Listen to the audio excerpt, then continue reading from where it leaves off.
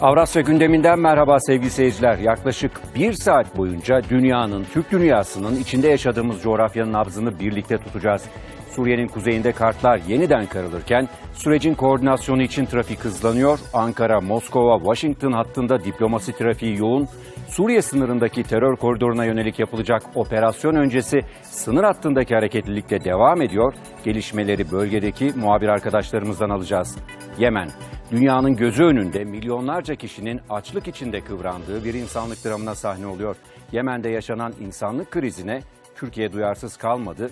TRT muhabiri Levent Öztürk dünyanın en büyük krizinin yaşandığı Yemen'e yardım çalışmalarını yerinde takip etti. Türkiye Yemen'de neler yapıyor buna bakacağız. Afganistan yıllardır işgaller ve savaşlarla boğuşuyor. En büyük bedeli de çocuklar ödüyor. Onların hikayesini getireceğiz ekranlarınıza. Türkiye Marif Vakfı o çocuklara nasıl kol kanat geriyor birlikte izleyeceğiz. Türk dünyasında yaşanan gelişmeleri de Bakü, Taşkent ve Astana'dan canlı bağlantılarla alacağız. Sevgili seyirciler, Azerca, Azerbaycan'ın başkenti Bakü'de dün ödül töreni heyecanı vardı. TRT ve Anadolu Ajansı da bundan nasibini aldı. Ayrıntıları Fatih Avanos Bakü'den aktaracak. Özbekistan'da Mehmet Can Polat'ın çok özel bir konuğu var bugün. Gürcistan'dan Özbekistan'a sürgün edilen Ağızka Türkü Serdar İlyasoğlu. Sürgünden itibaren günlük tutmuş ve yaşadığı tüm sıkıntıları not almış. Bugün Avrasya gündemi izleyicileriyle paylaşacak. Kazakistan gündemine ilişkin son notları da Astana muhabirimiz Güzel Zaytova'dan alacağız. Avrasya'nın en önemli serbest ekonomi bölgesi Horgos. Kazakistan'la Çin arasında yer alıyor. Bu önemli merkeze biraz daha yakından bakacağız bugün. Avrasya gündemi dünden bugüne dünyada ve bölgemizde yaşanan gelişmelerden derlediğimiz haber turuyla başlıyor.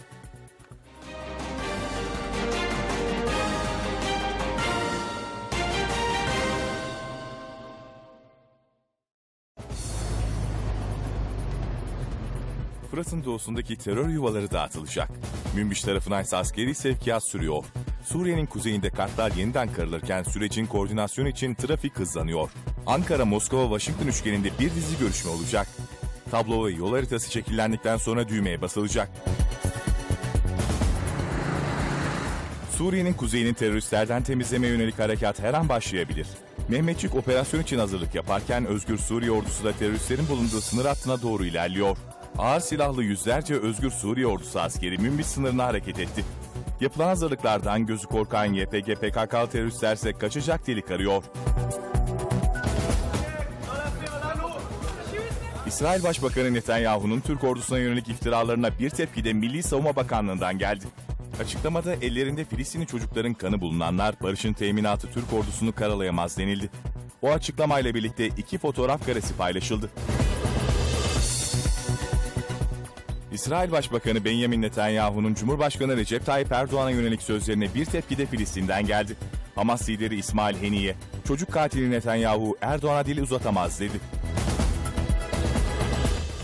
İsrail ordusu Suriye'den atılan bir uçak savar füzesinin hava savunma sistemi tarafından vurulduğunu duyurdu.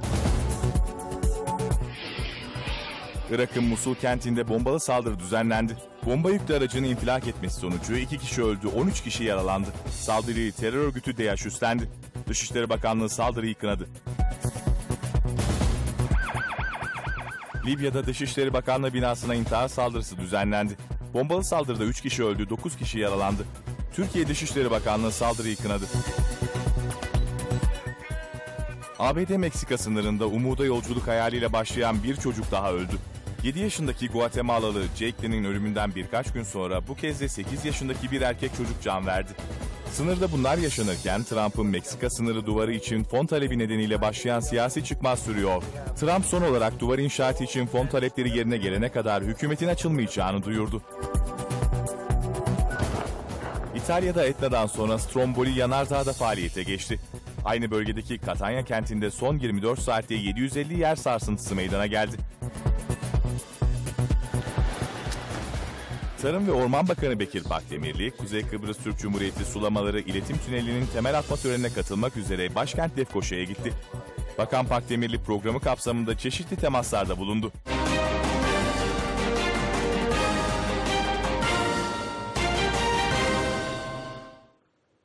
Sevgili seyirciler, Fırat'ın doğusundaki terör yuvaları dağıtılacak. Münbiç tarafına ise askeri sevkiyat sürüyor. Suriye'nin kuzeyinde kartlar yeniden karılırken sürecin koordinasyonu için trafik hızlanıyor. Ankara, Moskova, Washington üçgeninde bir dizi görüşme olacak. Tablo ve yol haritası şekillendikten sonra düğmeye basılacak.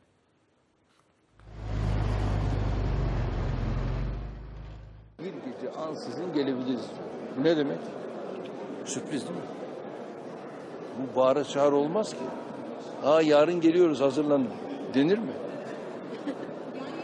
Bir gece an, her zaman terörle mücadelede her an, her zaman ama sürpriz olarak bunlar yapılır. Amerika Birleşik Devletleri'nin Suriye'den çekilme Türkiye'nin harekat kararı. Ankara, Washington, Moskova üçgeninde trafik hızlanıyor. Sürecin koordinasyonu için görüşme trafiği artıyor. Arkadaşlarım bugün yarın bir grup bir Moskova ziyareti olacak. O Moskova ziyaretindeki gelişmelere göre daha sonra benim de Sayın Putin'le bir görüşmem olacaktır diye düşünüyorum. Büyük ihtimalle yüz yüze. Dışişleri Bakanı Mevlüt Çavuşoğlu Rusya'ya gidecek. Moskova'da muhataplarıyla görüşecek. Erdoğan'la Putin'in yapacağı yüz yüze görüşmenin takvimi ayarlanacak. Rusya sahada bir aktör.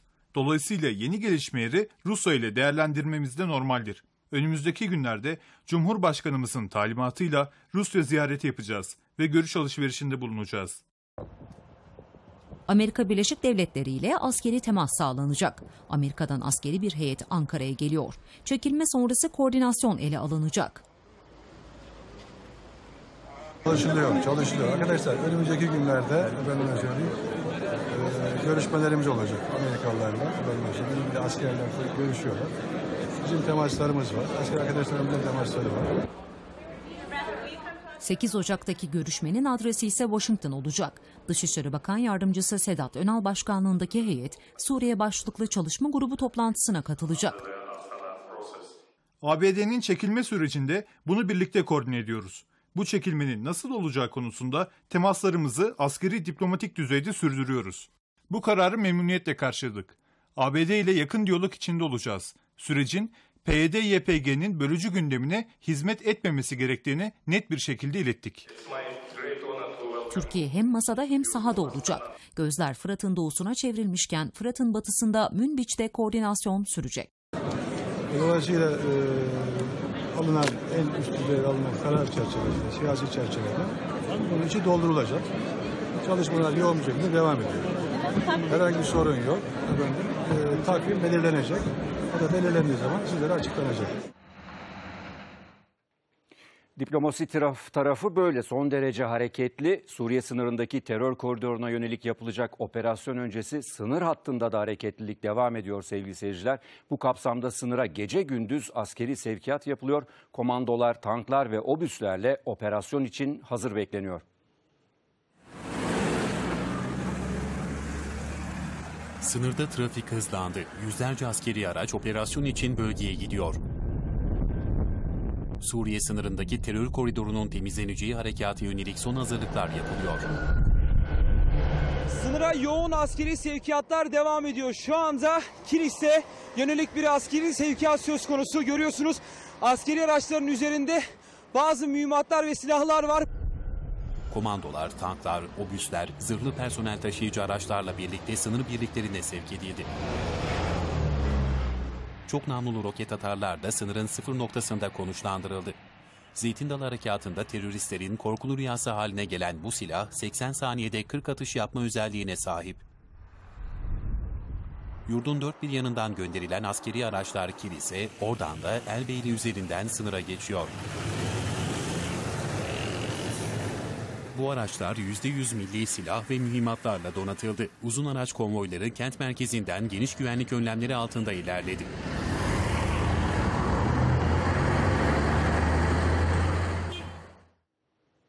Hemen sınır hattına dönelim. Muhabir arkadaşımız Murat Can Öztürk bizi Suriye sınırında bekliyor. Murat, e, sevkiyatlar bir yandan sürüyor, bir yandan Ankara, Washington, Moskova hattında diplomasi trafiği de yoğun harekat her an başlayabilir diyoruz haberlerimizde. Senin gözlemlerin neler? Senden alalım ayrıntıları.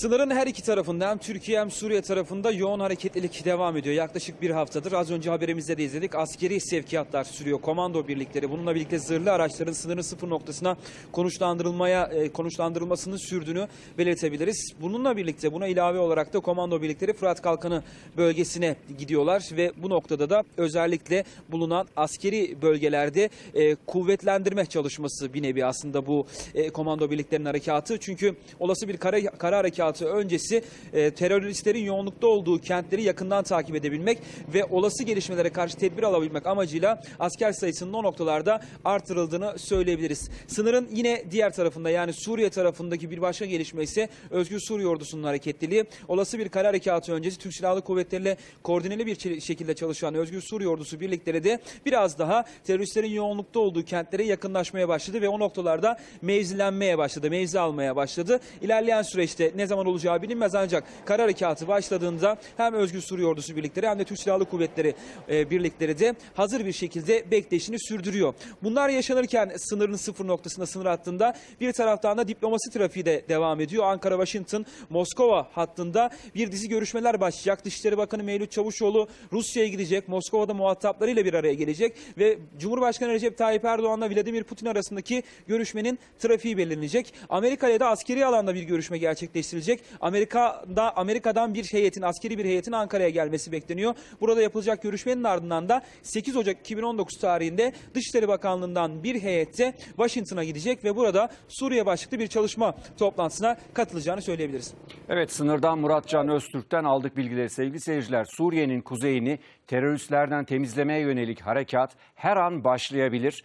E, Mehmetçik operasyon için hazırlık yaparken Özgür Suriye ordusu da teröristlerin bulunduğu sınır hattına doğru ilerliyor. Ağır silahlı yüzlerce ÖSO askeri Münbiç sınırına hareket etti. Yapılan hazırlıklardan gözü korkan YPG PKK'lı teröristlerse kaçacak delik arıyor.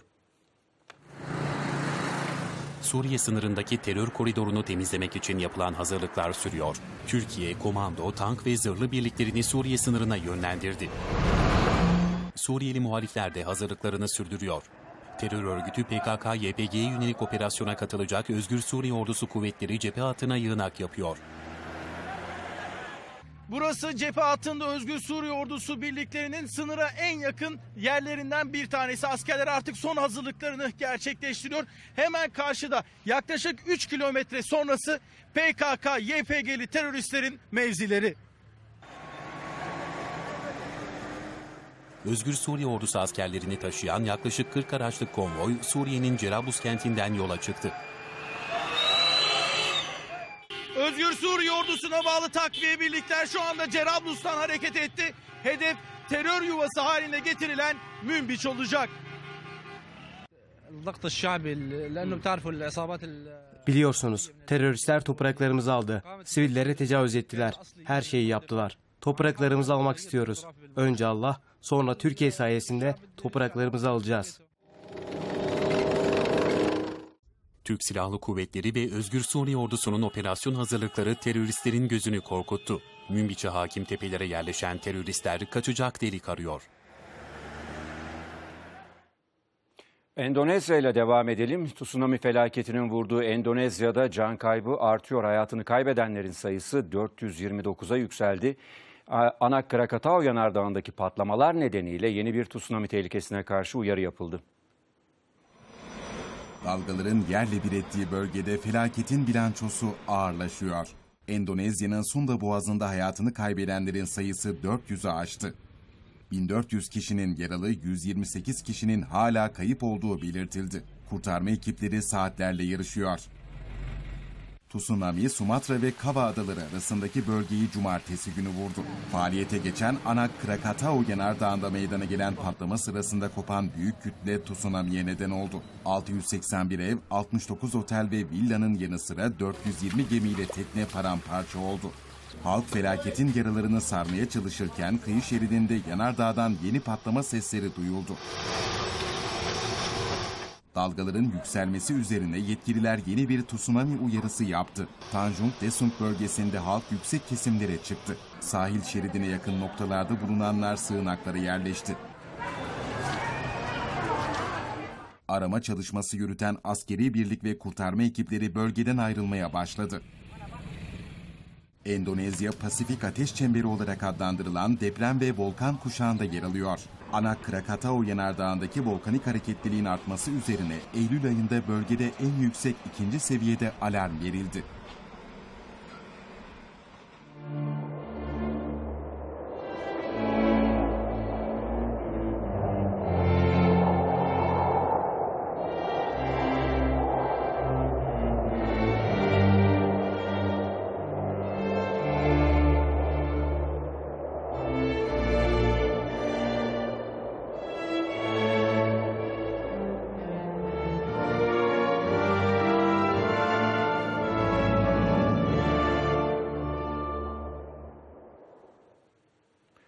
Sevgili seyirciler, Yemen'de yaşanan insanlık krizine Türkiye duyarsız kalmadı. Başta Türk Kızılayı olmak üzere sivil toplum kuruluşları toplanan yardımları Yemen'e ulaştırıyor. TRT ekibinden Levent Öztürk, dünyanın en büyük insanlık krizinin yaşandığı Yemen'de yardım çalışmalarını yerinde takip etti.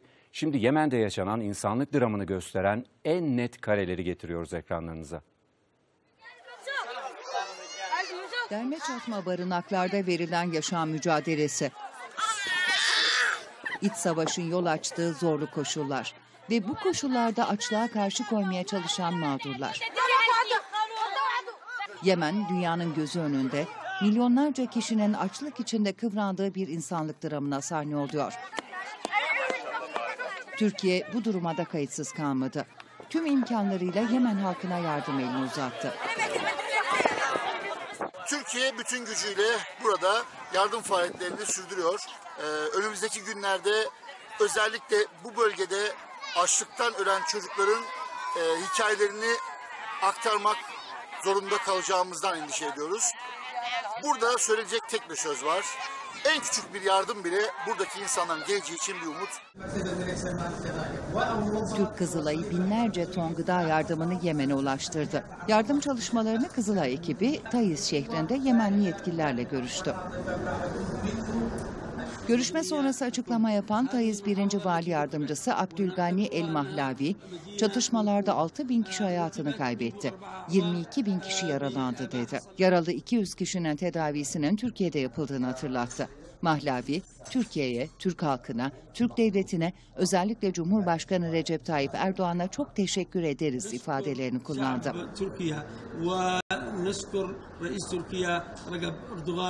Kızılay heyeti ise bu görüşmelerden sonra çatışmalarda zarar gören hastaneleri ziyaret etti. Yemen'e gönüllüler de yardım ulaştırıyor. İnsanlar çok ihtiyaç sahibi. Gerçekten işlerine girdiğimiz zaman e, gözlerimiz yaşardı. Yani bu kadarını beklemiyorduk. E, bu insanları halini, durumunu bir şekilde aktarmamız gerekiyor. Onun için de bu çalışmaları yapıp çok daha fazla duyuru yapmamız gerekiyor ki daha çok insanımıza ulaşabilelim.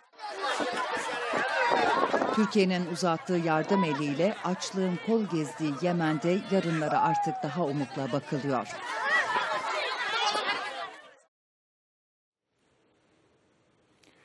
Kimi annesini kaybetmiş, kimi babasını, kimi de hem yetim hem öksüz kalmış. Yıllardır işgallerle ve savaşlarla boğuşan Afganistan'da en büyük bedeli yine çocuklar ödüyor.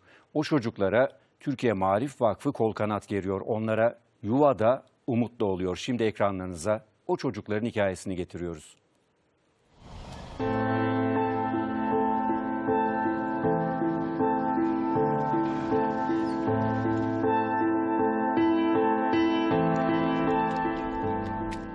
Afganistan Yıllardır işgaller ve savaşlarla boğuşuyor. En büyük bedeli de çocuklar ödüyor. Bu onların hikayesi. Nesibe bu yıl liseden mezun oldu. Anne ve babasını daha çocukken kaybetmiş. En büyük hayali Türkiye'de tıp öğrenimi görerek doktor olmak. Çünkü e, babam 11 yaşındaydı. 11 yaşındayken şeker hastalığı için vefat etti. 2 yıl sonra annem vefat etti. İşte olsa bir doktor olmak istiyorum. Başka çocukların da hayatını kurtarmak istiyorum. Mesela yetim yaşamalarını istemiyorum onların da benim gibi. Nesibe aynı zamanda romanda yazıyor. Romanında yaşamından izler var. Acı var, gözyaşı var, umut var. Bir kız e, Onlar burada savaş olduğu için Türkiye'ye gidiyorlar. Sonra Yunanistan'a giderken boğulup bütün ailesini kaybediyor. Tek babası kalıyor yanında. O büyüyerek benimki gibi diş doktoru oluyor o da. Büyük bir aile kuruyorlar. Sonra geri Afganistan'a dönerek kendi vatanına hizmet ediyor. Türkiye Marif Vakfı'nın yönetimindeki Afganistan'daki Habibe Kadiri Kız Lisesi onun devi olmuş. Onlar anne babamın yokluğunu hiç hissettirmiyordular. Mesela ağladığımda gözyaşlarımı siliyordular.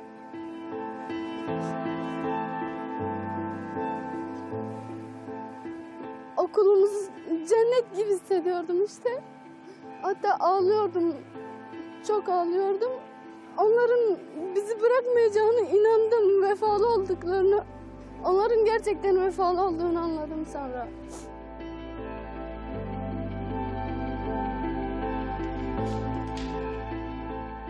Şefikullah ise Türkiye Marif Vakfı'nın Şiringan'daki erkek lisesinde okuyor.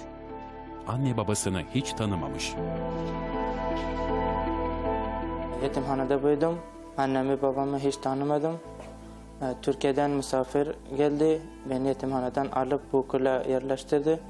Tek hayalim e, okulu başarıyla bitirip üniversite Türkiye'de e, mühendislik okuyup ve dönüp ülkeme hizmet etmek. Türk halkına ve Türkiye Marif e, Vakfı'na teşekkür ediyorum. Ahmet Halit'in ise en büyük hayali geçen sene kaybettiği annesinin vasiyetini yerine getirmek, doktor olmak. Annem bir yıl önce vefat etti Allah rahmet etsin. O yani o beni çok e, söylüyordu doktor ol diye.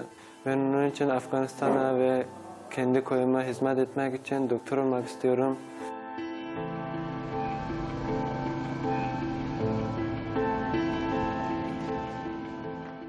Afganistan'da isimler farklı da olsa aslında tüm çocukların hikayeleri aynı. Zor bir hayat, belirsiz bir gelecek. İşte tam da bu noktada Marif Vakfı'nın okulları bu çocuklar için umut olmuş durumda.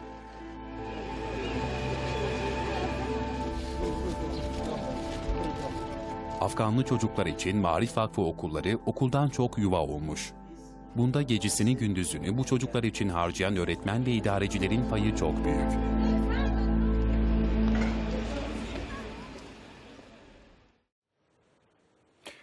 Önce Yemen'i ekranlarınıza getirdik, ardından Afganistan'ı. Türkiye'nin Kızılay'ıyla, Türk Marif Vakfı'yla bu coğrafyalarda nasıl yardım eli uzattığını gösterdik.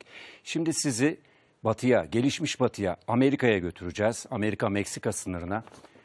Umuda yolculuk hayaliyle başlayan yolculukta bir çocuk daha öldü sevgili seyirciler. 7 yaşındaki Guatemalalı Jake'linin ölümünden birkaç gün sonra bu kez de 8 yaşındaki bir erkek çocuk can verdi. Sınırda bunlar yaşanırken Trump'ın Meksika sınırı duvarı için fon talebi nedeniyle başlayan siyasi çıkmaz sürüyor. Trump son olarak duvar inşaatı için fon talepleri yerine gelene kadar hükümetin açılmayacağını duyurdu. Umuda yolculuğu da hayatı gibi kısa sürdü. 8 yaşında ailesi ve hayalleriyle Orta Amerika ülkesi Guatemala'dan yola çıktı. Meksika'dan ABD'ye yasa dışı yollarla geçti. Sınırda gözaltına alındı, aniden rahatsızlandı.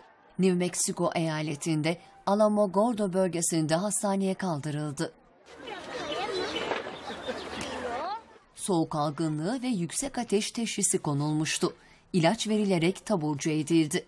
Günün ilerleyen saatlerinde mide bulantısı ve kusma şikayetiyle tekrar hastaneye kaldırıldı.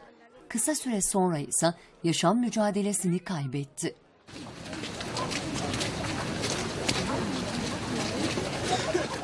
Yedi yaşındaki Guatemalalı Jacqueline de gözaltındayken hayatını kaybetmişti.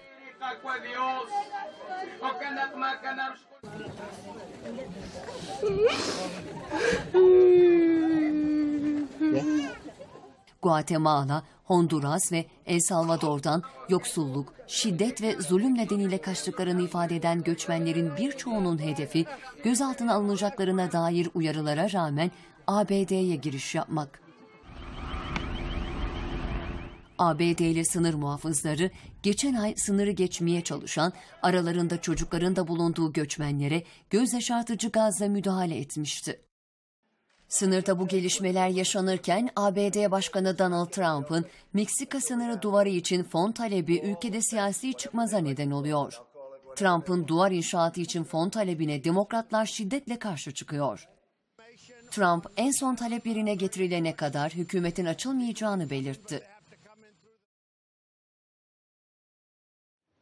Azerbaycan'ın başkenti Bakü'de ödül töreni heyecanı vardı. Başkent Bakü'nün kurtarılışının ve Demokratik Halk Cumhuriyeti'nin kuruluşunun 100. yılı dolayısıyla düzenlenen tör törende bu anlamlı yılın Türkiye ve dünyaya aktarılmasına katkılarından ötürü TRT ve Anadolu Ajansı da ödüle layık görüldü. TRT Azerbaycan muhabiri Fatih Avanos ödül töreninin ayrıntılarını bize aktaracak. Şimdi dönelim Bakü'ye. Fatih Avanos bizi bekliyor. Fatih, anlamlı bir yıl dedik Azerbaycan için 2018. Ayrıntılar neler? Bu yıl neler yaşandı Bakü'de aktarır mısın?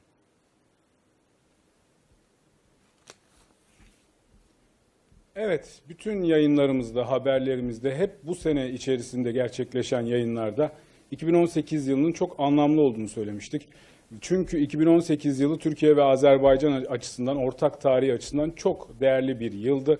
100 yıl önce Nuri Paşa komutasındaki Kafkas İslam Ordusu Bakü'yü kurtarmıştı, Gence'yi kurtarmıştı. Aslında Azerbaycan'ın birçok bölgesini kurtarmıştı. Hatta Dağıstan Özerk Cumhuriyeti'nde Derbent'i de kurtarmıştı. Ancak Mondros Ateşkes Anlaşması nedeniyle silah bırakmak zorunda kalmıştı Mehmetçik ve geri dönmek durumunda kalmıştı. Biz de yıl içerisinde bütün yayınlarımızda bu hususu, bu özel hususu belirtmiştik ve bu yayınlarımız neticesinde dün akşam önemli bir ödül töreni vardı ve TRT'ye de önemli, değerli bir, anlamlı bir e, ödül verildi.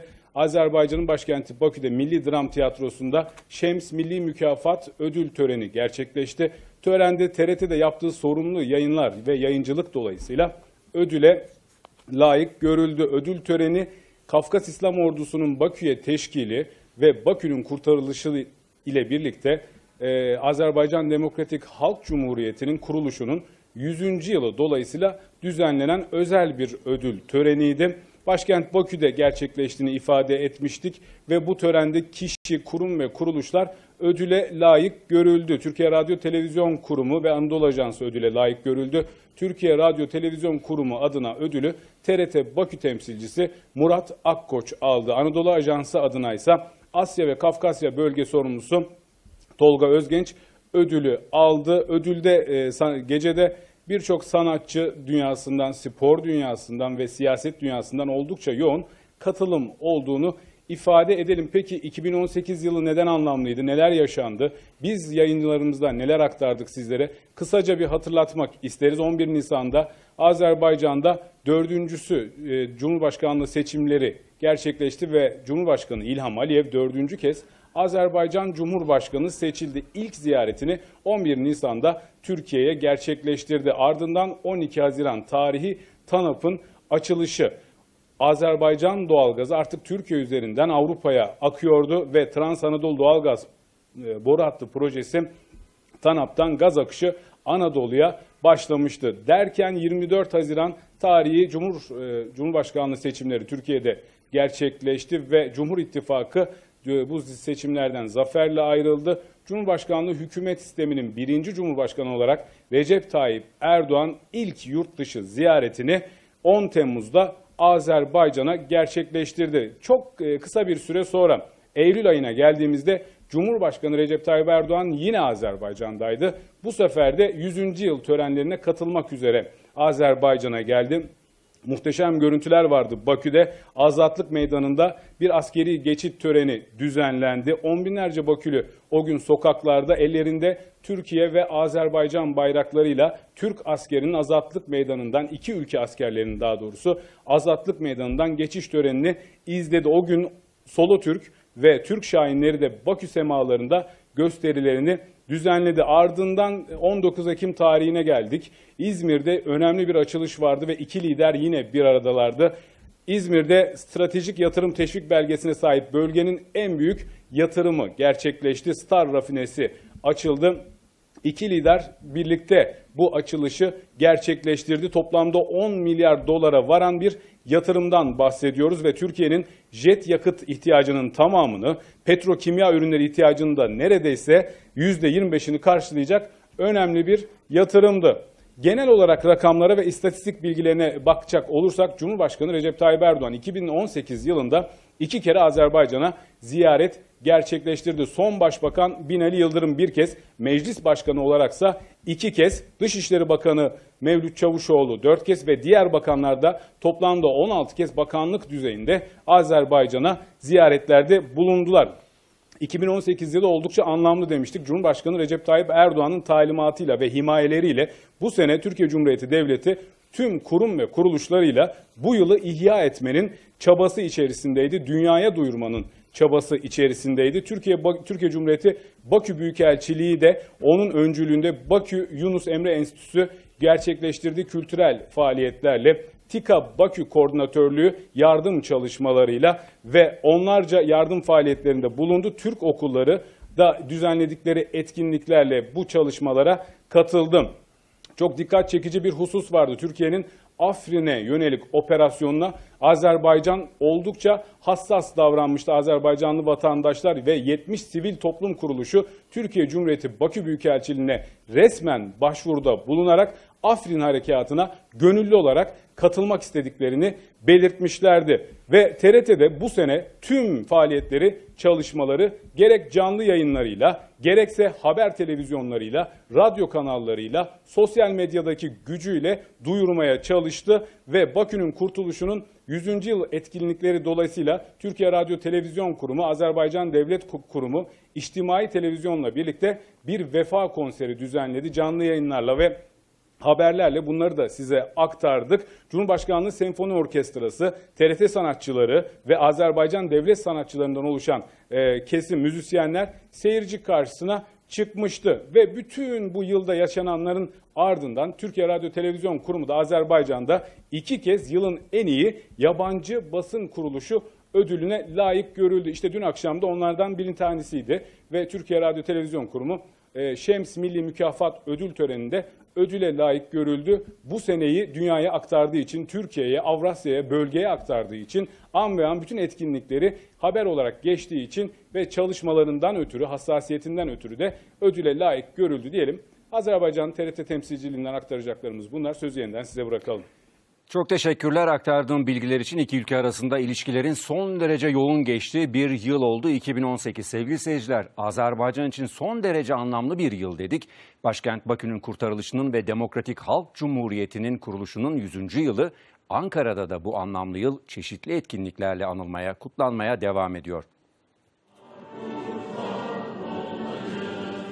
Azerbaycan Cumhuriyeti'nin kuruluşunun 100. yıl kutlamaları devam ediyor. Azerbaycan Büyükelçiliği 2018 Harekatı, Yerli Düşünce Derneği ve İLESAM İşbirliği'nde Ankara'da bir program düzenlendi. Programa Türk Tarih Kurumu ev sahipliği yaptı. Harekatın amacı Azerbaycan'ın tarihini, milli düşüncesini, duygularını, kültürünü tüm dünyaya tanıtmak. Vizyonumuz sadece 2018 yılında kalma değil, devam ettireceğiz bu harekatın. 2018 yılı Azerbaycan Demokratik Halk Cumhuriyeti'nin e, yıl dönümü olarak her iki ülkede de etkinliklerle kutlansın. Bunların yanına işte Nuri Paşa'nın e, Bakü'ye girişi e, vesaire, işte silahlı kuvvetlerinin e, kuruluş yıl dönümleri falan. Bu çerçevede bu yıl dönümü kutlanıyor. Benim en çok memnun olduğum hadise ise buna sivil toplum kuruluşlarımızın sahip çıkması. Programda insanlık dramı olarak görülen Hocalı katliamını fotoğraflarla gözler önüne seren film gösterimi de yapıldı.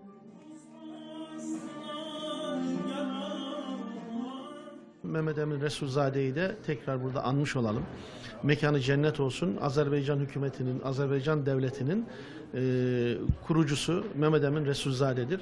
Yerli Düşünce Derneği olarak bizler her dönem Azerbaycanlı kardeşlerimizi anmaya, her fırsatta onların acılarında ortak olmaya, onların sevinçlerinde ortak olmaya devam edeceğiz. Programda bir de kitap tanıtımı yapıldı. 2018 Harekatı kurucu üyelerinden olan gazeteci yazar Zemfira Meherrendi'nin kaleme aldığı Karabağ Muharebesi Zarif Taleler isimli elimde görmüş olduğunuz bu kitap Karabağ'da savaşan kadınların hayat hikayelerini anlatıyor.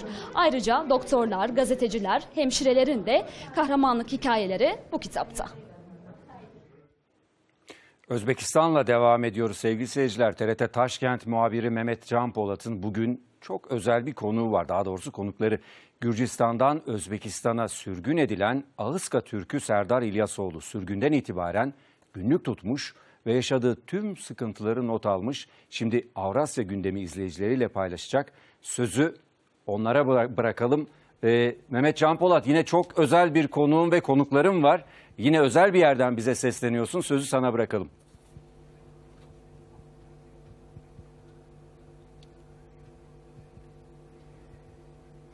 Evet Coşkun Özen sürgün zamanında Özbekistan'ın başkenti Taşkent'e gelip yerleşmiş bir Ahıska Türk'üne misafir olduk.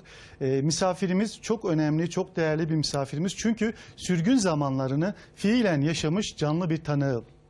14 Kasım 1944 yılında Stalin sınır güvenliğini bahane ederek Türkiye'ye katılmak isteyen biz Osmanlı Türk'üyüz, Türkiye'ye katılmak istiyoruz diyen Ahıska Türklerini birden fazla devlete bir gece ansızın dağıtıyor. İşte o tarihten bu tarihe e, kadar süren bütün e, süreci bilip e, bunu tabii fiilen yaşayan bir konuğumuz var. Özel bir konuğumuz Serdar İlyasoğlu. E, hemen sözü uzatmadan kendisine dönüp o anları sıcağı sıcağına neler yaşadığını kendisinden dinleyelim. Yayınımıza, yayınımıza hoş geldiniz. Neler yaşadınız o günlerde? Biz, ben Serdal İlyazoğlu. 1933 yıl Gürcistan vilayetinin Adigön rayon Hona köyünde doğulmuşum. 1944 yılın 14. oktyabrında, noyabrında, 1944 yılın noyabr ayında gecenin yarısında geldiler köye. Dediler kalkın. Cemaati kaldırdılar. Maşineleri getirdiler. Dört kocalığı bir maşineye, beş kocalığı bir maşineye doldurup yola düşürttüler. Elimize daha yemeğe bir şey bile alamadık öyle götürdüler. Ondan geldik biz Akıska vilayetinden geçip düzlük var idi. Onda, onun da demir yollarını bizim cemaat yapmıştı. O trenleri oraya koyup vagonlara bizleri doldurdular. 15. çıslar evle, evleden sonra. Doldurdular mı? Ondan sonra bizleri sürdüler. Gittik. Bu gidiş gittik Tiflis'ten geçtik. Bakü'ye yendik. Bakü'den geçtik. Astrakan, Astrakan'dan geçtik. Saratov, Saratov'dan şey yollarından neydi o? Ural dağlarından. Dönüp Taşkent'e geldik. Taşkent Oblastı'nın Toytepe şehrinde yani İrali e, Orta Çıçık rayonu diyerdiler. Aslında Toytepe şehridir.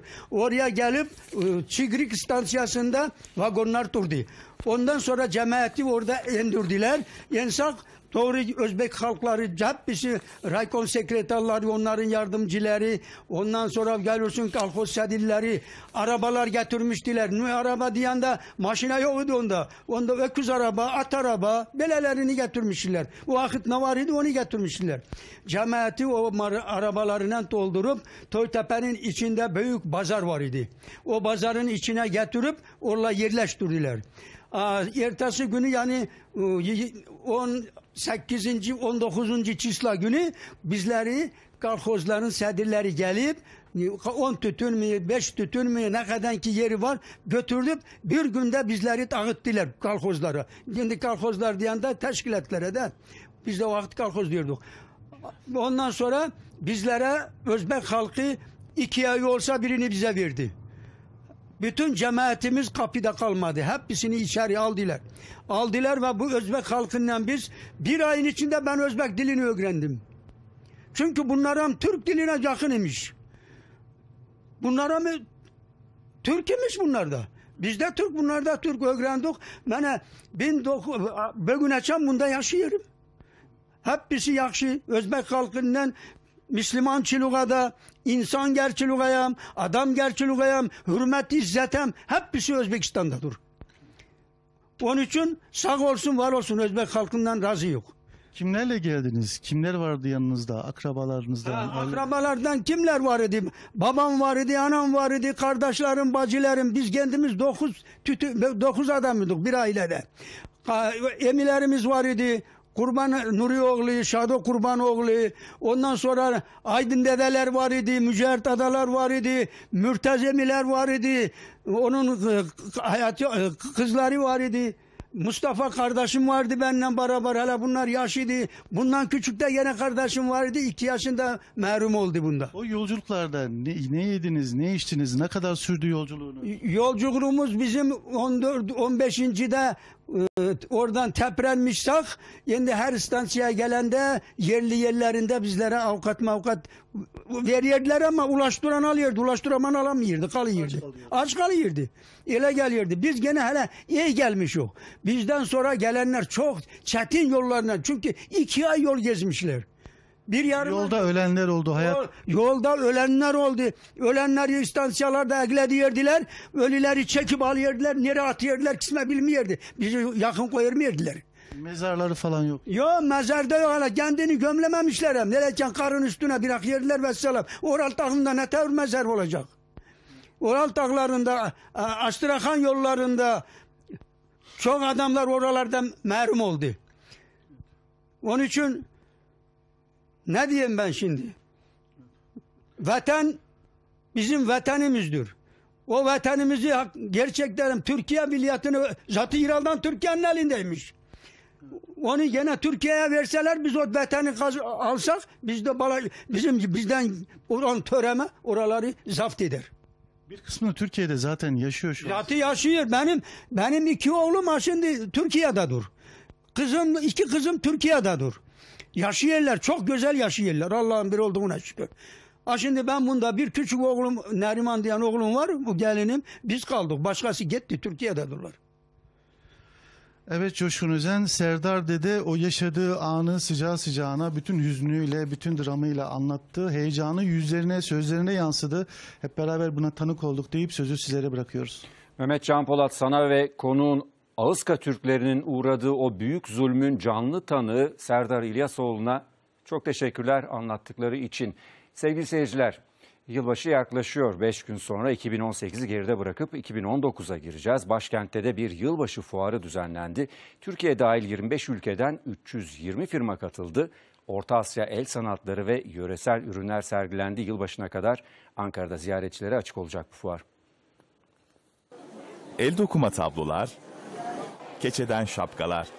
Bu renkli görüntüler başkent Ankara'da açılan yılbaşı fuarından.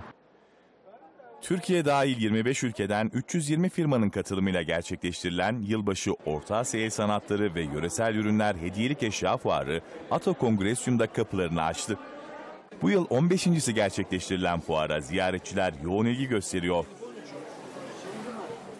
Fuara Rusya, Özbekistan, Kırgızistan, Türkmenistan'ın aralarında bulunduğu 25 ülkeden 320 firma katılıyor. Ato Kongresyum'da gerçekleşen fuarda milli kıyafetler, takılar, tablolar ve birçok hediyelik eşya yer alıyor. Mersin'den geldim.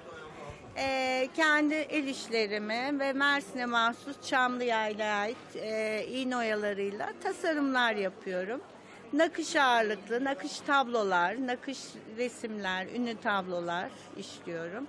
Ee, yöremize ait ürünler artı Türkiye'yi tanıtacak işte danteller. Amacım da e, yeniden yeni nesle bu el işi ürünleri tanıtıp sevdirip e, üretime katkıda bulunmak. Geçen yıl 150 bin kişinin ziyaret ettiği fuarı bu yıl 200 binin üzerinde kişinin ziyaret etmesi bekleniyor. Fuar 31 Aralık'a kadar açık olacak. Ortak coğrafyada şimdiki durağımız Kazakistan. TRT Astana bürosundan Güzel Zaytova karşımızda bizi bekliyor. Kazakistan gündemine ilişkin son notları ondan alacağız. Benim elimde bir not var e, Güzel. 2019 yılı içinde elektrik, su, gaz fiyatları düşürülecekmiş. Son derece sevindirici bir haber. Dilersen e, senden alalım ayrıntıları. Evet, e, aslında Kazakistanlılar için müjdeli bir haber bu. 2019 yıl itibariyle Kazakistan'da su, elektrik ve gaz fiyatları düşecek. Kazakistan Cumhurbaşkanı Nursultan Nazarbayev'in bu konuyla ilgili talimatları vardı ve dün e, Başbakan Bakçan Sagintayev eyalet ve şehir valileriyle bir toplantı yaptı. E, 2019 yılında e, alınmış kararın uygulanması için e, gerekli tedbirlerin e, e, gerekli tedbirlerin alınması görüşüldü ve valilere gerekli talimatlar verildi. Şimdi sıra e, mobil telefon kullanıcıları için e, Coşkun Özen. E, yıl başına kadar e, Kazakistan'da tüm mobil telefonlar kayıt altına alınması gerekiyor. Kazakistan'da yaşayan yabancılar da buna dahil.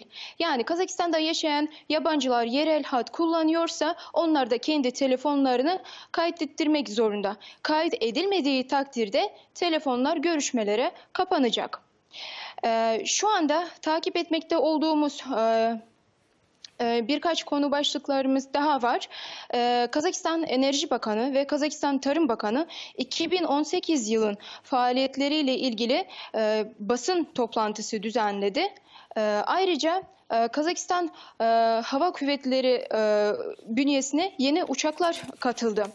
Ee, Rusya yapımı olan e, Su-30SM savaş uçakları havada 15 e, hedefi algılama ve 4'üne saldırı e, gerçekleştirme sahip özelliğine sahip ve bu konularla ilgili daha sonra size haberler haber göndereceğiz.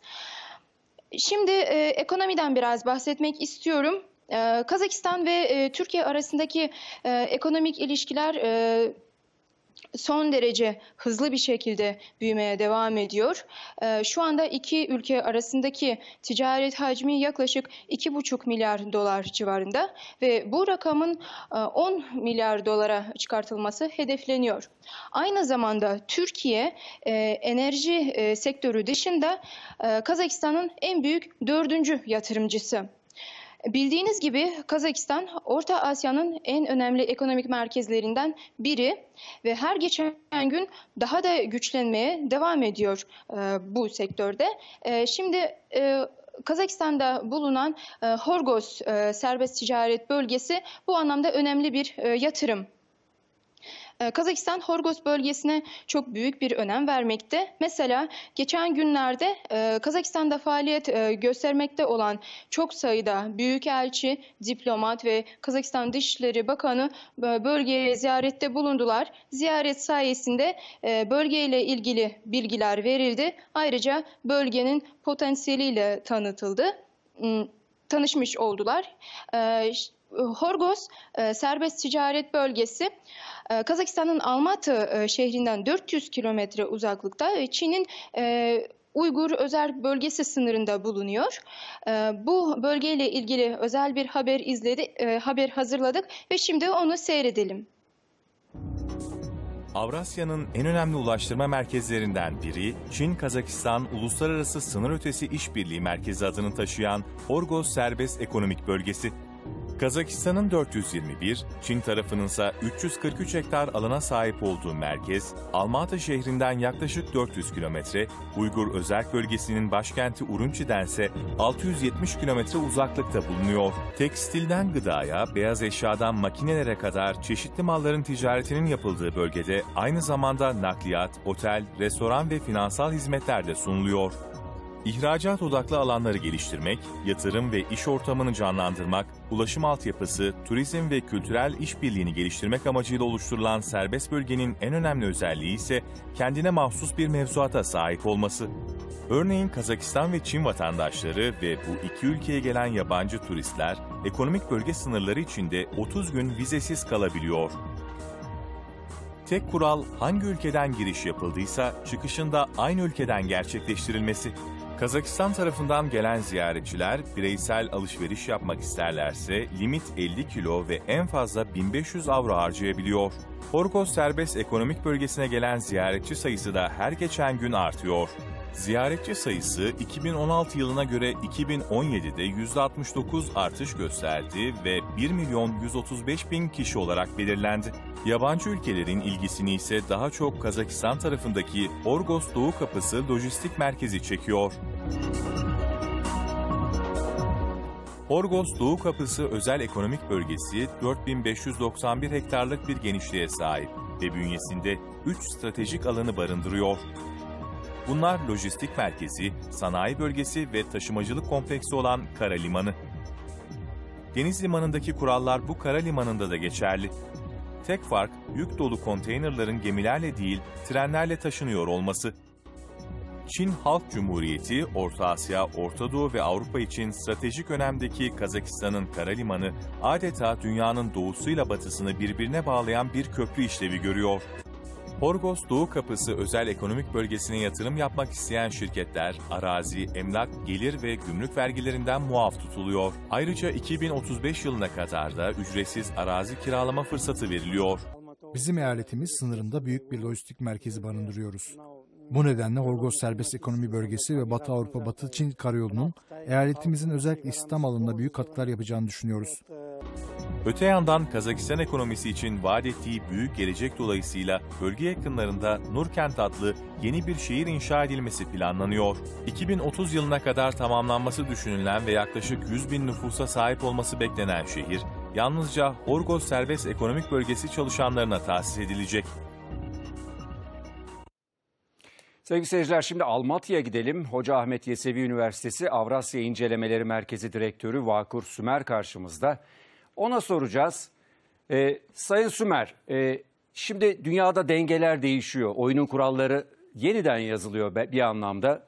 Özellikle Orta Doğu'daki gelişmeler son derece hızlanmış durumda. Yeni dengeler oluşacak gibi. Türkiye inisiyatif alıyor pek çok konuda.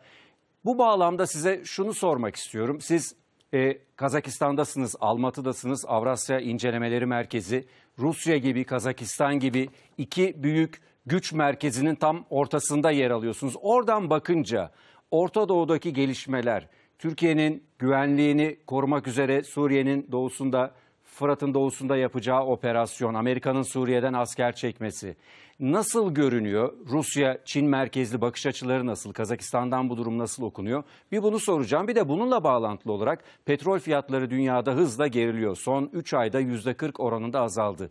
Bu Orta Doğu'daki yaşanan gelişmelerin perde arkasında da biz enerji savaşlarının olduğunu biliyoruz. Her iki e, açıdan değerlendirirseniz neler söylersiniz? İyi yayınlar diliyorum öncelikle. Çok diliyorum. Ee, e, sanırım yayın video... Ben sizi duyuyorum. Sesi ben geliyor, sizi duyuyorum. Ha, tamam. Şimdi tabii e, Kazakistan'dan bakınca özellikle Orta Doğu geliş, e, Orta Doğu'daki gelişmeler e, ilgi çekici bir hale almaya başladı. E, Amerika e, Birleşik Devletleri'nin askerlerini Suriye'den çekme kararı e, şüphesiz ilgi çekici bir karar. E, ancak tabii e, şöyle düşünmek lazım. E, Suriye'den askerlerini her ne kadar çekse dahi Amerika Birleşik Devletleri bu bölge ve bu ülke üzerindeki kendine yönelik e, çıkarlarını korumak için e, bölgede olmaya devam edecektir. Ve aynı şekilde de diğer e, bölgesel önemli aktörler olan Rusya Federasyonu ve İran'ın da e, varlıklarını bu bölge üzerinde e, sürdürmelerini görmeye devam edeceğiz. Dolayısıyla e, çok e, büyük değişiklikler e, beklememek de e, gerekir diye düşünüyorum ben. E, tabii e, şüphesiz Suriye'den e, Amerikan askerlerinin e, çekiliyor olması Türkiye'nin e, daha rahat hareket edebilmesini kolaylaştıran bir faktör olacaktır. Bu açıdan e, Türkiye'nin öteden beri e, Suriye'nin kuzeyindeki terör yapılanmalarına yönelik olarak e, takip ettiği ulusal e, stratejiyi e, daha etkin bir şekilde, daha e, fiiliyata dönük olarak takip edebilmesi e, kolaylaşacaktır e, düşünüyorum. Tabii bununla ilintili olarak sorduğunuz petrol e, fiyatlarındaki değişiklik dünya ekonomisinden de öte siyasetinde de önemli e, gelişmelere e, gebe. Malumlarınız olduğu üzere ve bahsettiğiniz üzere Kazakistan dünya petrollerinin %3'üne yaklaşık sahip olan ve dünyada petrol üreticileri arasında ilk 10 ila 15 ülke arasında olan önemli bir petrol ülkesi. Yaklaşık 30 milyar varil petrol rezervi var e, Kazakistan'ın ve Kazakistan ihracat e, potansiyelinin ihracatının %70'ini petrol ve doğalgaz üzerinden gerçekleştiriyor. Dolayısıyla e, bu Orta Doğu bağlamında da e, gerçekleşen bu petrol fiyatlarının düşmesi e, hadisesi Kazakistan'ı dolaylı değil çok doğrudan etkiliyor aslına bakarsanız ve e, tabii Kazakistan için çok ideal bir e, senaryo değil e, petrol fiyatlarının bu seviyede düşüş gerçekleştirmesi. Malumlarınız olduğu üzere Ekim ayında 86 dolarla son 4 yılın e, zirvesini e, petrol fiyatları yakalamış idi ve çok ciddi bir düşüşle 50 dolar seviyelerine indi. Çok kısa bir sürede. Aslında beklentilerden bir kısmı Kasım ayında özellikle Amerika Birleşik Devletleri'nin İran'a yönelik yaptırımlarının başlamasıyla birlikte 100 dolara ulaşacağı şeklindeydi. Ancak e, farklı gelişmeler rol oynadı. Özellikle dünya ekonomisindeki yavaşlama ki buna Çin özellikle e, liderlik yapıyor diyebiliriz ve Amerika'daki kaya gazının e, işletilmesindeki hızlanma petrol arzını dünyada genel olarak talepten daha fazla noktalara taşıdı ve petrol fiyatları geriledi. Tabii ayrıca Amerika Birleşik Devletleri e, Merkez Bankası'nın faizleri yükseltmesi de dünyada genel bir yavaşlama beklentisi yarattı. Ekonomik yavaşlama.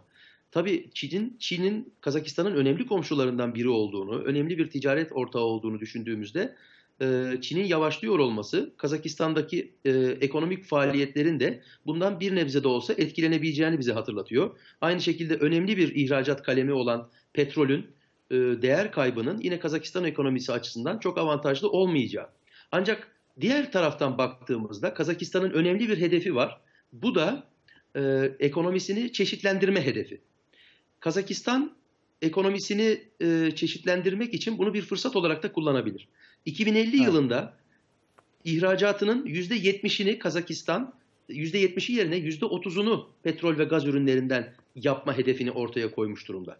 İşte bu petrol fiyatlarının düşük seyretmesi belki de Kazakistan için bu anlamda önemli bir motivasyon sağlayabilir diye düşünüyorum. Evet.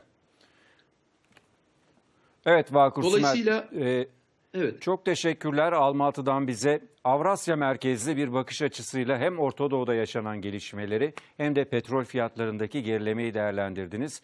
Bundan sonraki yayınlarımızda da sizinle birlikte olmaya devam edeceğiz. Teşekkürler Almatı'dan aktardıklarınız için. Sevgili seyirciler Almatı ile yaptığımız bu bağlantının ardından Avrasya gündeminin de sonuna geldik. Yarın yine aynı saatte buluşmak üzere. Hoşçakalın.